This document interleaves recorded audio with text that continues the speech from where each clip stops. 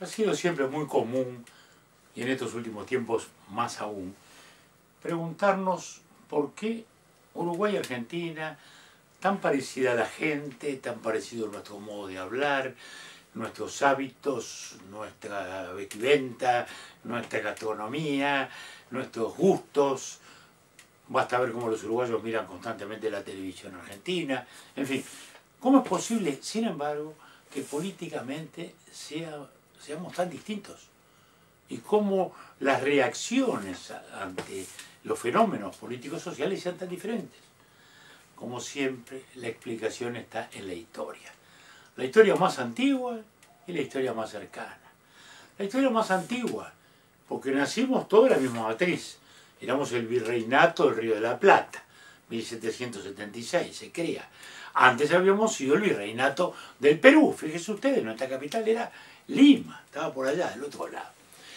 Y entonces nacimos allí, todos. Cuando se produce la caída de la monarquía española, viene la revolución. A la revolución de mayo se la de Artigas. Y ahí empieza el, tema.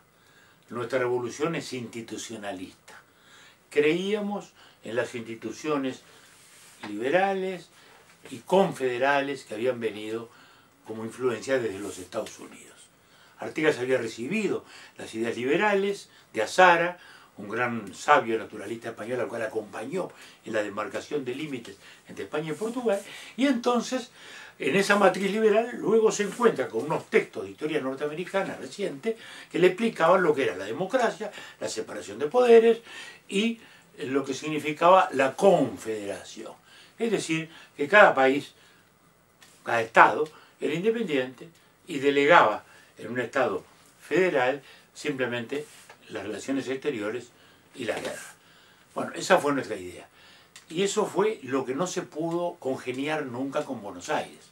Para empezar, la independencia, nosotros la estábamos programando en el 11. En el 13 dictamos las instrucciones. La Argentina recién en el 16, o mejor dicho, nuestras hermanas provincias unidas recién en el 16 declara independencia y aún no sabían si querían república o monarquía.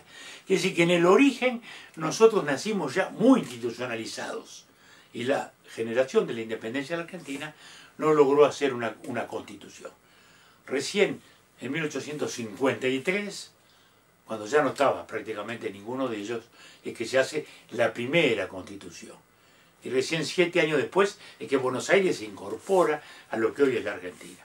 Nosotros ya llevábamos muchos años de independiente. Es decir, en el origen nuestra revolución fue institucionalista.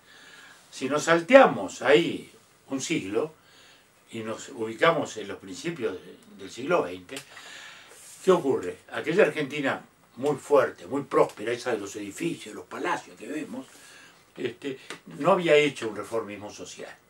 Mientras que acá, a partir de Valle Ordóñez, a partir del año 3, 4, 5, viene la legislación social la ley de ocho horas, la, ley del divorcio, la investigación de la paternidad, este, la ley de accidentes de trabajo, las instituciones sociales del Estado. Entonces, la masa inmigratoria que había venido de España, de Italia, este, gente pobre, eh, se incorpora y amalgama lo que será la clase media uruguaya, o sea, nosotros, lo que es la base de una sociedad uruguaya en la cual, bueno, todos tendemos a estar en ese gran medio que ha sido el sustento de la democracia. En la Argentina eso no fue posible. Los grandes eh, sectores, digamos, conservadores del último tercio del siglo XIX, de los primeros 20 años, hicieron realmente una Argentina muy fuerte, muy culta, muy importante, pero también que no había hecho ese proceso social.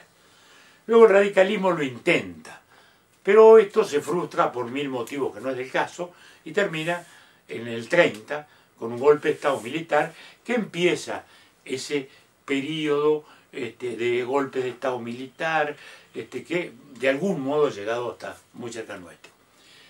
Y ahí nace en el 43 lo que es el mito que ha sobrevivido a todos estos años, que es el peronismo. O sea, si no era Perón iba a ser alguien en ese país próspero, en el año 2030 era una de las 6, 7 grandes economías del mundo per cápita de las dos o tres mayores, En ese país no había realmente, o no había, se había producido ese reformismo social que había incorporado el concepto de igualdad y de equidad social. O sea, el vallismo había cambiado, digamos, claramente la historia. Por eso es que aquí los populismos nunca tuvieron el espacio que tuvo en cambio el peronismo para nacer.